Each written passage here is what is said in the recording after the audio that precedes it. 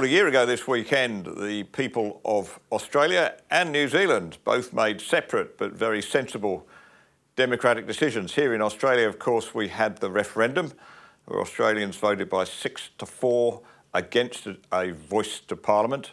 In New Zealand, well, they voted for a new government, somewhat better than the last, uh, the, the government of Christopher Luxon. Joining me on line now to discuss that government, how they've been going in the past 12 months, is Oliver Hartwich from the New Zealand Initiative. W welcome again, Oliver. Just uh, give me an overview. Uh, uh, it must have been uh, a somewhat uh, better and smoother ride this year than the previous six. Oh, it was a pretty busy period, actually, in New Zealand politics this year because the new government that came in after the October election, I mean, it was only formed in late November, of course, after long coalition negotiations, they had a big job ahead of them, and that was to clean up the mess from the previous administration. And I would say the first half a year or so of that new administration was almost exclusively about cleaning up the messes or correcting some of the mistakes. And now that they're getting towards the end of their first year in government, we can now see a bit of a positive agenda also emerging of the things that they actually want to introduce themselves. Well, you wrote an interesting piece in the Australian this week pointing out that Chris, Chris Luxon, of course, has a, a, a, background in business. He was a senior executive for most of his life, and uh, he's bringing that approach to government. How so? Yeah, Christopher Luxon is an interesting politician because he's only been a politician really for the past four years. He became opposition leader after just about a year in parliament and then prime minister really after just one term. And so he is a politician, of course, these days, but actually, by his business background, he is more a corporate leader. He worked uh, previously in um, various roles for Unilever in the United States and Canada. He was for quite a few years chief exec of Air New Zealand. And he still actually treats his day to day job as if it was a corporate job. So he operates with KPIs, so key performance indicators. He operates with quarterly plans, which he issues to his ministry. And in that kind of way, he has actually created a completely different style of government. So many people say, of course, you can't run a country like a company. And there's some truth to that. But you can certainly take some management techniques over from the private sector into the public sector. And that's what Luxon does.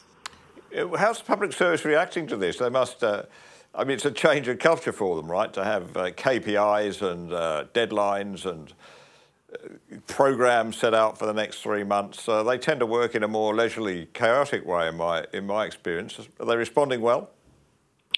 Yeah, I think your experience from Australia is pretty much what's happening in New Zealand as well. Um, let's put it this way I think both the public service and the new government are still trying to get used to each other. Or let's put it differently. I think the public service is learning that um, the political masters actually have a different idea of how to do things. And you can actually get a glimpse into that friction between the new government, the political government, and the public service every Tuesday morning and that is when the prime minister does his typical weekly radio slots, uh, one especially with Mike Hosking on Newstalk ZB. And you can hear the frustration actually in his voice. You can hear how difficult he finds it as someone used to corporate leadership dealing with the public service and just how slow it is, how cumbersome some of the processes are, and how little they understand the vision of his government. But increasingly, I think he's winning that because his government is actually rolling out reform after reform. They're really going through their checklists. They're rolling out their quarterly plans, and um, it works. And actually, we've seen quite a pace, really, of reform over the past year, something that we haven't really had for a long time. In a business, of course, the, the chief executive, uh, he's the one who says what will happen and won't happen. Uh, in government, I think rightly, we, we don't really expect our prime ministers or leaders to have that same kind of top down command type of government, do we? We expect them to consult and negotiate because that's, in the end, what enriches our democracy. Is, is he adapting to that political dynamic? Yeah, and on top of that, of course, what you also have to do in politics, especially in our environment in New Zealand, you have to deal with coalition partners and there are two coalition partners for national for, for Luxon's National Party. And so that's an additional complication, of course, that he now has to deal with, which he never had to deal with at Air New Zealand. But um, yes, you're right. I mean, a company is different from a country. And there are very few countries that you can actually run along corporate lines. I think the only exception that comes to my mind is perhaps Singapore, because the Singaporean state really behaves like a big corporation. But uh, for New Zealand, this is new. And nevertheless, I think there are some ways in which you could actually make it perform a little bit better and perhaps a little bit more like a company.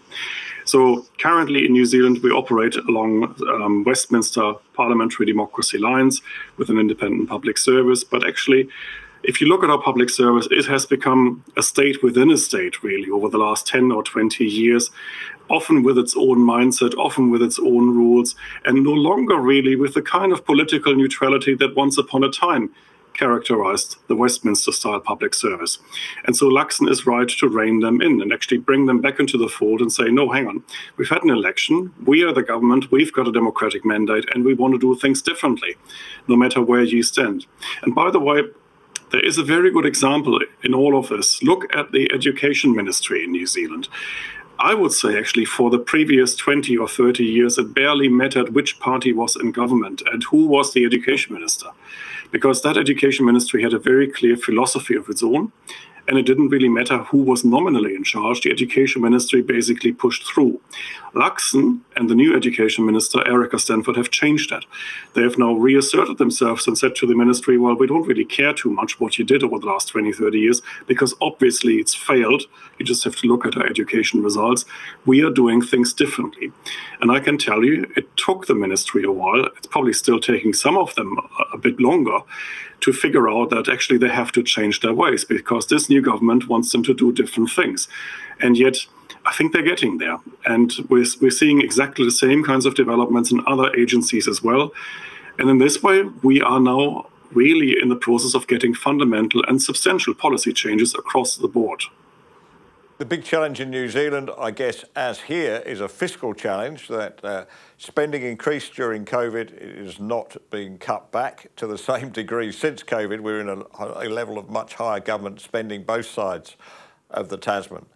Has he shown the willingness, perhaps the courage needed to tackle this problem? Well, to a degree. So over the past six months, the government actually laid off 2,600 civil servants. That's a good start. But just to put this into perspective, when Jacinda Ardern became Prime Minister in 2017, the public service in New Zealand was around 46,000 people. That's the core bureaucracy, not the people really on the front line. And by the time she left office, or rather her successor, Chris Hipkins, left office, we were well above 62,000. So cutting 2,600, that's a good first step. It's a start, but it's really not the end of the road. At the same time, our public finances are probably even worse than uh, what Luxon would have anticipated when he won the election. In fact, we only got figures yesterday about our public deficit, and that's running at above 3% of GDP. So there is still a massive task ahead of the government when it comes to fiscal consolidation. And frankly, government altogether just spends too much. We are currently in a region of about 40% of GDP as government spending, and that is way too high for comfort for a country like New Zealand. So we have to do something about government expenditure, we have to do something about the deficit. And this is a legacy, of course. This is not Luxon's fault. This is really what he inherited from the previous government because the figures we are seeing now have relatively little to do with the deliberate policy choices implemented by the Luxon government because they've only been in, in office really for less than a year. This is really just the overhang, really, uh, from the previous Ardern and Hipkins administration. And I hate to go to anything as trivial as polling, but how is he holding up in the polls? Well, it depends on who you believe. So earlier this week, we got a poll from Roy Morgan. That was relatively positive for National. It had uh, National going up to 38.5% from memory. The ACT Party, that's a small liber liberal or libertarian coalition partner, was on about 10. And then we have New Zealand First. That's New Zealand's part. Uh, that's uh, Winston's um, party, Winston Peters' party. They were on 7.5%. So there was a comfortable majority. Only um, a few hours ago, though, we got a poll from the Taxpayers Union here in New Zealand, and that picture looked a bit more positive for Labour. So Labour, in their poll, recovering to 30%, National falling to 34. But even under that poll, there was still a majority for the current coalition government. So mind you, we are currently really in the middle of a recession. Economic circumstances are not too flash in New Zealand right now, and the new government of Christopher Luxon still has a majority. So we can imagine in a couple of years' time, with uh, interest rates coming down, with house prices probably recovering, and probably with the economy looking a lot better, um, I think there is a very good chance that this government will get a second term because um, I think they will just ride the economic cycle and probably win in 26. 26. Well, let's hope so. Oliver, thank you for joining us. I gather you're in, uh, in Australia soon as a guest of the Centre for Independent Studies. We look forward to catching up with you then. In the meantime, Absolutely. In the meantime, thanks for joining us on Reality Bites.